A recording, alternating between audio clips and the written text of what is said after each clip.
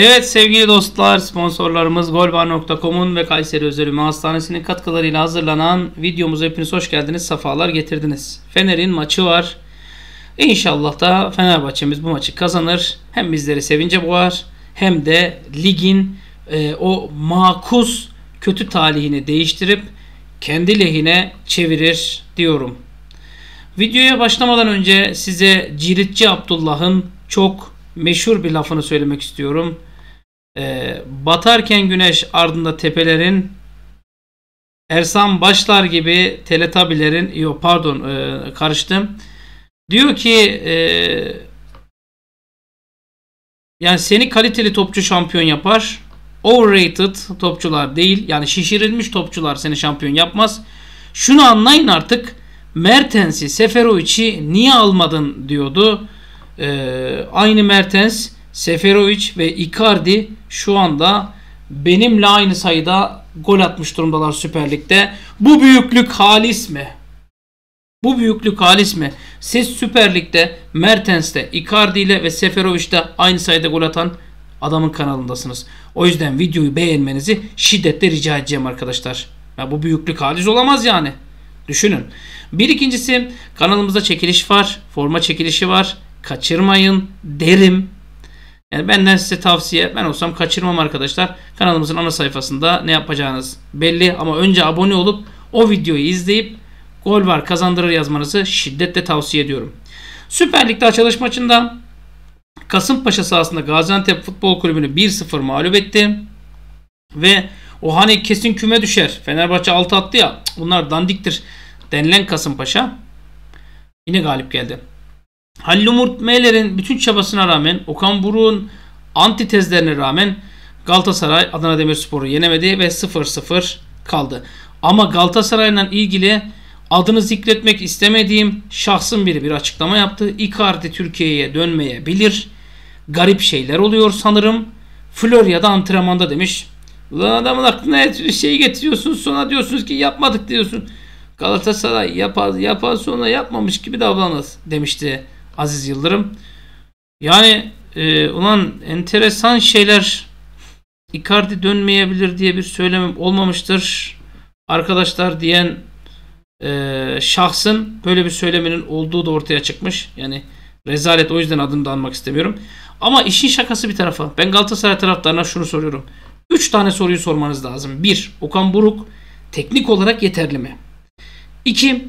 8 maçta 9 gol atmış takımınız. Yani bunca transfer ile mantıklı mı? 3. Falcao'da ağız yanmış iken Icardi kumarda oynamaya gerek var mıydı? Ben ötesini söylemek istemiyorum. Gerisini size bırakıyorum. Şimdi arkadaşlar Tolga Ciğerci. Tolga Ciğerci'nin şöyle bir hikayesi var. Şu sinek de beni bir rahat bırakmadı. Lan oğlum git kapıyı açıyorum başka yanlışın yok. Neyse sevdi herhalde beni. Tolga Ciğerci Başakşehir tarafından serbest bırakıldı. Ben dedim ki arkadaşlar denenebilir aslında dedim ya. Yani e, neden olmasın dedim. Sonra bana navu navu dediniz. Ankara gücüyle sözleşme imzaladı. Beşiktaş'a karşı 11'de sahaya çıkıp 2 tane asist sergiledi. Milli takıma seçildi. Eski takımı Başakşehir'e gol attı. Gerçi Başakşehir maçı 2-1 kazandı. Maç fazlasıyla liderliğe oturdu ama demek istediğim şey şu. Bazı futbolcuları isimden dolayı yerin dibine sokuyoruz ama isim başka bir şey. Oynanan futbol başka bir şey. Dün arkadaşlar Süper Lig'de enteresan bir müsabaka oynandı. Ee, Kayseri Spor ile Trabzonspor arasında bir müsabaka oynandı. Fakat maçın hakeminin vermiş olduğu penaltı pozisyonu. Ben maçı özetini de izlemedim. Yani goller nasıl atıldı? Gerçi Uğurcan'ın hatasına attı Kayseri sanırım ilk golüm. Onun dışında hiçbir şeyden haberim yok. Bir de penaltıda dikine vurmuş herhalde şey. E, gol atan Bakazetas. Onun dışında hiçbir şey görmediğim için çok yorum yapmak istemiyorum. Ama Berna Gözbaşı demiş ki 3-4 yıldır Trabzonspor maçına verilmeyen, verdirilmeyen bir hakem ne hikmetse bizim maçta görev alıyor. Herhalde kendisini affettirmeye çalıştı demiş. Ee, ben bir şey diyemeyeceğim ama taraftarlar sosyal medyayı birbirine kattı. E, Trabzonspor lehine skandallar devam ediyor. Üç büyüklerin maçlarına nispeten ortalama bir yönetim sergileniyor. Kayrılıyor diyorlar. En az 4 maç hakem hatası Trabzon lehine sonuçlandı bu sezon diyorlar.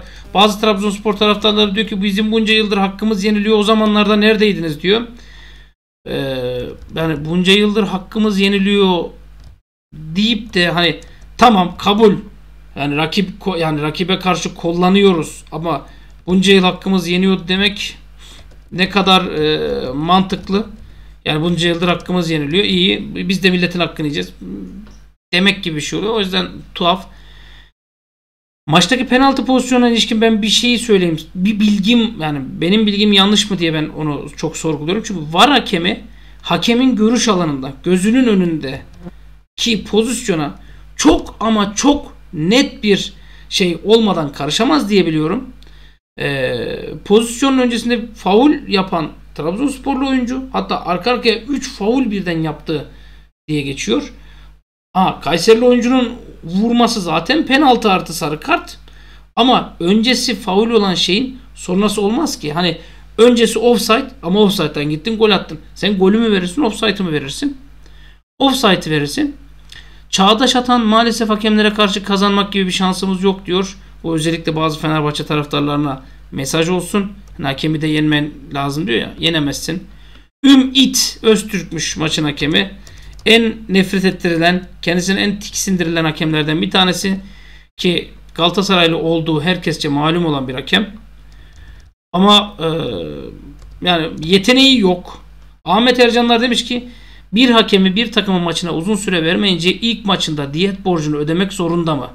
Trabzon'un kazandığı penaltı öncesi Trezeguet'in Onur'un ensesine vurması net faul. Onu yok sayıp diğer pozisyonu değerlendiremezsiniz demiş. Erman Toroğlu Trabzonspor TV'de yorum yapan e, şey A-Spor TV'de yorum yapan Erman Toroğlu böyle kart olmaz. Böyle penaltı da olmaz demiş Aspor'da. Yani Erman Toroğlu bile taraflı yayın yapan o kanalda bunu söylüyorsa size bana yani yorum yapmak düşmez. Yani böyle sarı kartta böyle penaltı da olmaz diyor. Dediğim gibi size bana laf düşmez. Biz kendi takımımızla ilgilenelim. Altay Bayındır Fenerbahçe'nin kaptanı, amili takımın e, kalecisi ve bizim gururumuzdur. İnşallah e, gitgide kendini geliştirir. Derbinin anahtarı atılan ilk gol diyor. Derbi moduna girelim artık. Havasına girelim. Bu arada skor tahminlerinizi açık yüreklilikle yazabilirsiniz arkadaşlar. İçinize hissi doğan bir skor varsa da yazmanızı istiyorum. Yoksa kadrolar açıklanmadan gol tahmini, skor tahmini biraz mantıklı değil. Ama her iki takım arasında oynanan müsabakalarda ilk gol büyük önem taşıyor. Yani ilk gol çok önemli. Yani son 35 müsabakada ilk golü atan takımlar sadece 3 kez yenilmiş. Yani 31'i Süper Lig, 3'ü Türkiye Kupası, biri te, Süper Kupa olmak üzere 35 maçta öne geçen takım sadece 3 kez mağlup ayrılmış. Öne geçen taraf 20 kez kazanmış arkadaşlar. 11 kez berabere kalmış. Bir müsabakada golsüz sona ermiş zaten. Böyle bir istatistik var. Peki öne geçen takım hangi maçta yenildi? 2011-12 sezonunda Kadıköy'de yapılan maçta Beşiktaş öne geçti ama Stoh ve Egemen Korkmaz'ın kendi karesine attığı gollerle 2-1 yenildi. 2012-13'te Beşiktaş İnönü stadındaki derbide Musa Sov'la Fenerbahçe öne geçti ama e, sonrasında Fenerbahçe yeni ayrıldı sahadan diyor. 2017-18'de Vodafone Park'ta gerçekleşen karşılaşmada Fenerbahçe öne geçti ama hakemin e, ya geçin hakem hakemi falan filan bir maçta hükmen yenilgi diyor. Ben bu gereksiz detaylara girmiyorum ama ilk golün önemi bence de çok büyük. Onu söyleyeyim. Fenerbahçe deplasmanda 3 puan arayacak. Nasıl arayacak? Tabii ki de hakkıyla arayacak. Çünkü Fenerbahçe'yi itekleyen bir sistem yok. Fenerbahçe'nin arkasında e, görülen ya da görülmeyen bir güç yok. Fenerbahçe'nin arkasında hakemlere tesir edebilecek kişi ya da kişiler yok. Fenerbahçe'nin sahada destek alacağı bir hakem, bir federasyon yok. Ve Fenerbahçe'nin tek güç aldığı şey taraftarı. Başka hiçbir şey yok ki o maçta taraftar olmayacak. Ya taraftar varmış gibi yüreğimizi, destekimizi arkalarına alıp kendi yüreklerini ortaya koyup maçı kazanmaya çalışacaklar. İnşallah da galip gelip hepimizi gururlandıracaklar. Müsabaka saat 20'de başlayacak. Maçın orta hakemi Volkan Bayarslan inşallah yani inşallah elinden geldiği kadar tarafsız, adil şekilde yönetir maçı. Kimseden etkilenmez, kimseden emir almaz, kimseyi kollamaz, kimseden taraf olmaz. Maçı şu skorla bitireyim ya da şu sonuçta bitireyim diye uğraşmaz ve maçı Fenerbahçe kazanır inşallah. Ee, yani Fenerbahçe'nin çıkışı sürüyor. Son iki maçta 7 gol atmış bir Fenerbahçe var. Ama araya milli araya e, girdikten sonra bazı sakatlıklar var. Ve bakalım ne olacak. Fenerbahçe'de 3 eksik diyor şimdilik. Nazım Sangare zaten yok. Luan Perez ve Joshua King'in de oynaması beklenilmiyor. Serdar Aziz'in kadroda olması en azından bekleniliyor. Çünkü dünkü idmanda takımda yani idmanın tamamında takımda çalışmış. Ferdi Kadıoğlu'nun 3 sarı kartı var. Bir sarı kart daha görmesi durumunda Fatih Karagümrük müsabakasında forma giyemeyecek. Bence isabet olur. Yani Fenerbahçe bu maçı kazanacaksa inşallah kazansın. Ferdi Kadıoğlu son dakikada ne bileyim sahaya sümkürsün bir şey yapsın ikinci sarı tek sarı yesin ikinci sarı yiyemesin. İşin şakası bir taraf ama Jesus dörtlü savunma deneyecek gibi çünkü savunmadaki eksiklikler malum. 4-4-2 ile sahaya sürmesi ama bu 4-4-2 değil.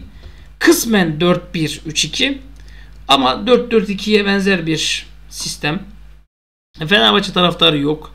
Fenerbahçe ligde 6 maçta 20 gol attı. Yani bildiğiniz şeyleri tekrar söylememe gerek yok diye düşünüyorum.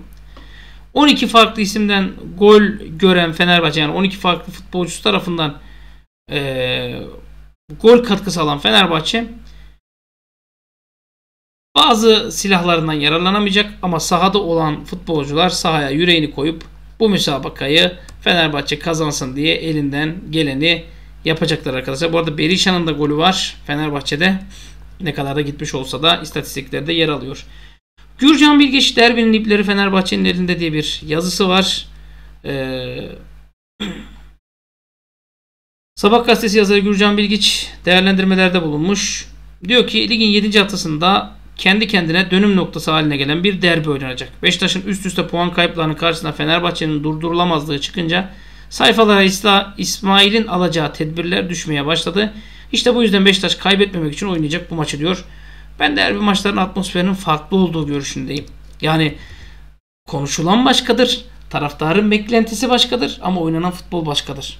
Şimdi açık söyleyeyim Fenerbahçe taraftarı galibiyet beklemiyor. Fark bekliyor.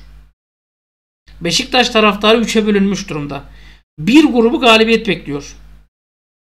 Bir grubu ise bu maçın berabere bitirileceğini, hakemlerin işte ligin ee, dengelerinin böyle sağlanacağı görüşünde.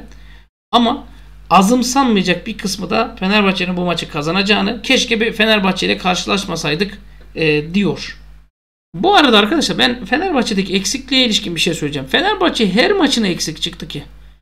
Fenerbahçe her maçına eksik çıktı. Yani ligde oynuyorsun. Az kadro diyeceğin takım. Mesela o sahi olmuyor. Birçok kişiye göre az futbolcu o sahi. İşte Crespo olmuyordu. İşte ne bileyim o olmuyor, bu olmuyor, şu olmuyordu. Deplasmana gidiyor ya da ne bileyim Avrupa maçına çıkıyor. Lan 6-7 kişi birden olmuyor. Yani Fenerbahçe her maçta 6-7 kişi eksik oynadı ki. Ben Fenerbahçe'nin eksiklerini hani çok şey görmüyorum. Yani konuşmaya değer görmüyorum. Gürcan Bilgiç diyor ki Rene bile oyunu değiştirmedi. Yani ipleri Fenerbahçe'nin eline bırakıyor bu senaryo diyor. Bir taraf çözüm ararken diğeri sıkıntı oluşturmanın peşinde. 40 bin taraftar önünde teknik heyeti Beşiktaş'a nasıl kabul edilecek diyor.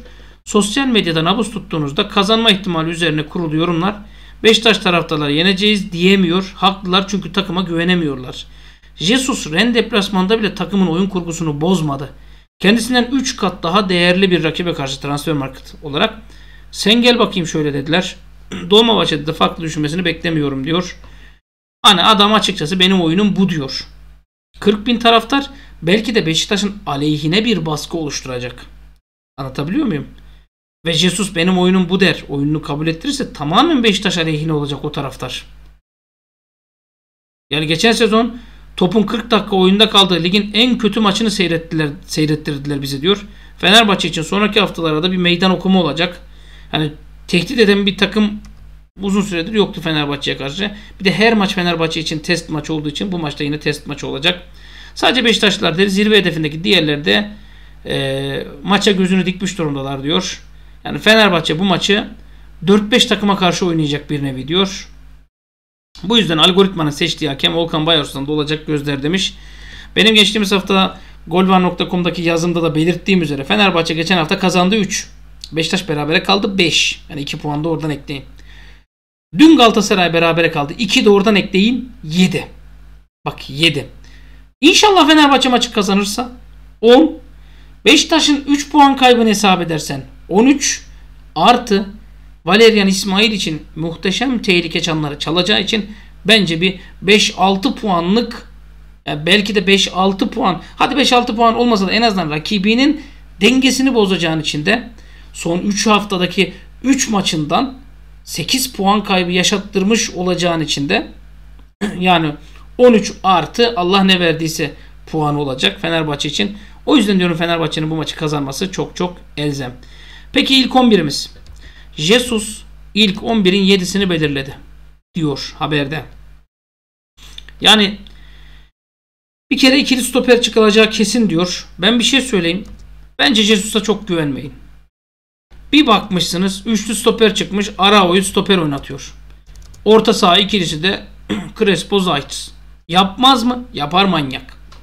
Yapar türde bir manyakla karşı karşıyayız. Zaten biz onun bu manyaklığını seviyoruz. Bir bakmışsınız Serdar Aziz savunmanın sağında merkezde Salah'ı solunda işte ne bileyim Gustavo Henrique ya da merkezde solda Alioski. Olur mu olur. Yapmaz bir manyakla karşı karşıya değiliz arkadaşlar. Ya da Atilla Salah'ı solda tam ortada Gustavo Henrique sağda Serdar Aziz. Gustavo Henrique niye tam ortada? Uzun boy ve Gorsto birebir eşleşsin diye. Olabilir mi? Olabilir. Şimdi İrfan 25'in haberine göre sözcüden ee, yani Vegors'tu Gustavo Henrique eşleştirmesi zaten beklenen bir şey. Orta saha Crespo Arao diyor. etti sana 4. E, kalede Altay Bayındır etti sana 5. Bunlar Beşiktaş'ın pas trafiğini çekmeye çalışacak diyor. E, takımı yönlendirecek diyor. E, bu arada Jesus üçlü savunma ile ilgili de çalışmalar yaptı diyor. Bu bence hani yarın bir gün üçlüye çıkarsa bakın ben demiştim demek için kullanılmış bir cümle gibi geliyor. Mesela az önce ben ne dedim? Bir bakmışsınız Jesus üçlüyle çıktı. Hani bunu tweet olarak atmış olsam bakın ben demiştim derim. Ama e, ben kadroyu bilsem de paylaşmam. Çünkü bunun Fenerbahçe'ye zararı olduğunu düşünüyorum. Etti 5. Yani Altay, Salahi, Henrique, Arao, Crespo. Etti 5. Valencia'nın kesin oynayacağı görüşünde herkes. 6. 3 yerli kuralından dolayı ise Ferdi Kadıoğlu oynayacak diyor. 7. 7 kişiyi garantiledi. Ben size şöyle bir 11 söylesem ya da 2 tane 11 söylesem hangi 11'i seçersiniz? Bakın dikkatlice dinleyin ama. Kalede Altay, Serdar, Gustavo Henrique, dur şöyle e, stoper olarak Serdar, Gustavo Henrique, e, Salahi, Az önce söyledim ya arkadaşlar. Üçlü savunma. Sağda, sağ açıkta Osayi. Merkez ikili Crespo, Arao. Bu arada iki kadromda da Crespo, Arao'yu merkez mi yazsam diye düşünüyorum. Sol kanatta Alioski. Yani Ferdi yedek. Bakın Ferdi yedek. Ferdi yedek. Hücum bölgesinde İrfancan Kahveci, Valencia, Cao Pedro. Bu bir. Aslında bu kadroda şöyle bir değişiklik olabilir. Osayi'nin yerine Ferdi oynayıp bakın Osayi'nin yerine Ferdi oynatıp sağda İrfan Can'ın yerine Valencia bak İrfan'ın yerine Valencia Cao Pedro yerine Batshuayi bakın Batshuayi solda Cao Pedro ya da Forvet'te Cao Pedro'yu koyup Solda Rossi ile başlar mı? Şu an her şeyi yapabilir. Karşımızda öyle bir çılgın var. Çünkü eğer Altay Serdar Gustavo Salahi Ferdi Crespo Arao Alioski çıkarsan hücumda Valencia, Cao Pedro Rossi ile büyük tehdit oluşturabilirsin. Beşiktaş savunmasının çıkmasını engelleyebilirsin en azından. Yani bir sol bek Valencia'yı Valencia tehdidine karşı bence çıkmayı çok fazla düşünmez. Diğer sağ bek Rossi tehdidine karşı Alioski'nin hücumlarına karşı çıkmayı düşünmeyebilir. Bu bir kumar olabilir. İkinci kadrom e, Altay e, Osayi Bakın sağ bek Osayi. Gustavo Henrique. Salahi. Ferdi. Ferdi sol bek burada. Bu kadroda. Crespo Arao. Ee, yani Arao Crespo da deseniz olur. Fark etmez. İki tane Türk. İrfancan Kahveci sağ kanat. Valencia e, forvet. Cao Pedro tamamlayıcı forvet. Ya da zaman zaman 4-2-1-3 şey 4-2 1-2 gibi ya da 4-3 e, 3'ün şeyi gibi ha pardon e, ben de diyorum bir kişi eksik Osayi, Gustavo, Salahi, Ferdi Crespo, Arao, İrfancan Kahveci, Valencia, Cao Pedro solda da Lincoln Ernike bakın Lincoln ya da Rossi eğer bu şekilde çıkarsan zaman zaman İrfan'ı merkeze kaydırıp 4-2-1-3'e çevirebilirsin. Arao'nun desteğiyle 4-1-3-2'ye yakında bir şey yapabilirsin. Yani Lincoln biraz geri çekilip İrfan biraz geri çekilip Arao'ya da Crespo'dan biri merkezde hücuma destek verip Pedro Valencia ikilisini savunma arkası koşularıyla buluşturabilirler. Yani üçlü savunmada oynayabilir bu takım. Dörtlü de oynayabilir. Üçlü de yedeği olmaz. Dörtlü de ise çok ofansif gibi geliyordu. Yani deplasmanda bu kadar ofansif çıkar mı Fenerbahçe? Bu da soru işareti. Ben skor tahminlerinizi alayım. İçime hissi doğan bir skor var. Paylaşıp paylaşmama konusunda tereddütlüyüm. Yani ama şunu söyleyeyim. 1-0 olsun bizim olsun maçı var ya. İşte bu maç öyle bir maç. Hakikaten 1-0 olsun bizim olsun maçı. Yani kazanalım 1-0 kazanalım. Kazanalım sağdan orta açalım. Beşiktaş'ta oyuncu kalecisine çarpışsın. Top direkt kaleye gol girsin. Ya da ne bileyim Beşiktaş'ta oyuncuya çarpsın. Kendi kalesine atsın. Hiç umurumda olmaz. Yeter ki kazanalım. Ama helalinden hakkımız da kazanalım. Öyle kazanalım umurumuz olmaz e, dedik diye hani e, haksız yere değil. Hakkımızda kazanalım istiyorum. Bir şeyi söyleyeyim. Bir şeyi söyleyeyim. Maç başlayana kadar şurası 26.500 aboneye ulaşırsa çok enteresan bir skorla maçı kazanacağız inşallah. İçime doğan hissi skorlardan biri de o. Ama 26.500 olursa çok var. 26.500 olmasına çok var. Zannetmiyorum olacağını. Ama Fenerbahçe taraftarı bazen böyle şeylerin totemini yapıyor. Ee, çok var da demeyeyim ya. Yani yapılabilir bir şey. Maç başlayana kadar 26.500'ü görürsek bence bu maçı çok değişik kazanacağız. Bu arada farklı skorla kazanalım. Çünkü gol varın dağıtacağı forma sayısı gole göre. Ya Fenerbahçe 7-2 kazandı. 9 gol, 9 tane yeni sezon forması 629 liralıktan. Ya arkadaşlar yanlış anlamayın. Hala kanala abone olup gidip o ana sayfadaki ya kısacık videoyu izleyip gol var kazandırır yazacaksınız. Videoyu beğeneceksiniz. Başka hiçbir şeye gerek yok. Linkini buraya da atacağım. Yani aşağıda bir yerde şurada bir yerde ya da üstte çıkacak o e, forma çekilişinin videosu. Hala bunu yapmıyorsanız gerçekten akıl tutulması yaşıyorsunuzdur. Ben de uyarayım size. Kendinize iyi bakın. Görüşmek üzere dostlar. Skor tahminlerinizi de aşağıya yazabilirsiniz. Mutlaka abone olup bu videoyu beğenin ama. Görüşmek üzere.